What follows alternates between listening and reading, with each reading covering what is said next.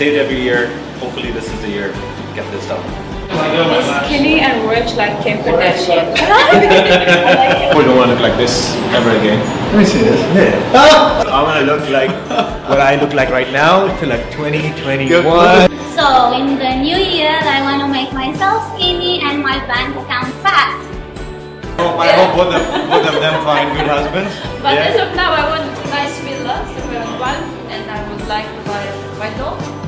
Thank you 2019 for bringing me here and for introducing me to my baby family.